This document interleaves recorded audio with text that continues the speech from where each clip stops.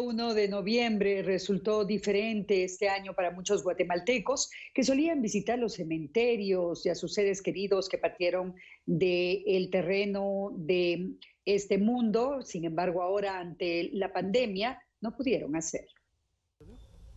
Varios guatemaltecos pasaron este 1 de noviembre, Día de Todos los Santos, de una manera diferente.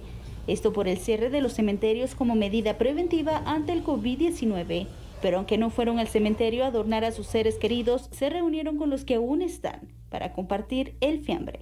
Gracias a Dios la pasamos bien, la pasamos bien en la casa, dijo.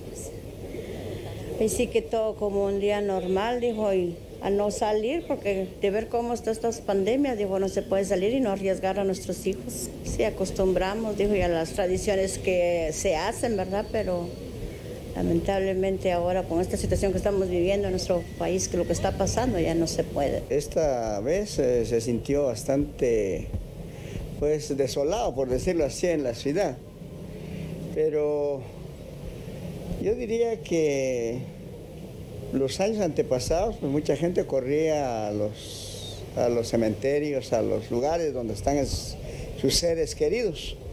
Yo les diría que lo más importante es estar eh, unido con la familia. Diferente porque estaban cerrados los cementerios y ya no es igual como el año pasado. Y, fue diferente porque la gente estuvo muy triste y ya no pudieron ir a dejarle flores a los muertos.